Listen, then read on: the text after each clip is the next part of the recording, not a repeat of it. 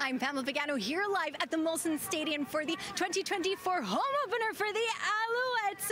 It is currently 27 degrees here. It is so hot. There's still that heat warning, but fans, 20,000 are set to come in here. Kickoff is super soon, and we are joined by a fan. Hey, Tristan. Hi, how are you? I'm great. How are you? I'm great. I'm great. Wonderful day. There is no rain now. Exactly. We're going to be positive. A great night, great football night. We can't ask better.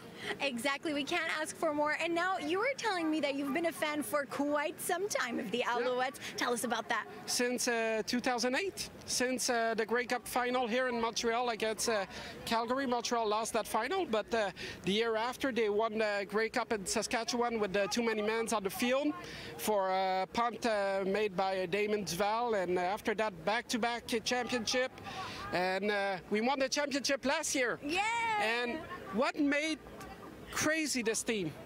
We got 10 players Quebecers in the team last year, and we still have 10 players Quebec in our team this year. Marc-Antoine Lacroix, Christian Mat, all these guys.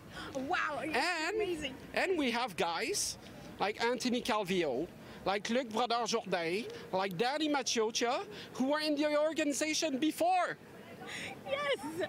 Tristan, We are, a you? team of you're champions. Say that again. We are a team of champions. We are a team of champions, and Montreal Alouettes, Montreal football is a champion city. Absolutely. And who do you think's going to win tonight? Is that the question? Montreal, Absolutely. Montreal, Absolutely. and I believe that Marc-Antoine Dequoy, mm-hmm. a great ambassador for Quebec, is going to make a touchdown on an interception tonight.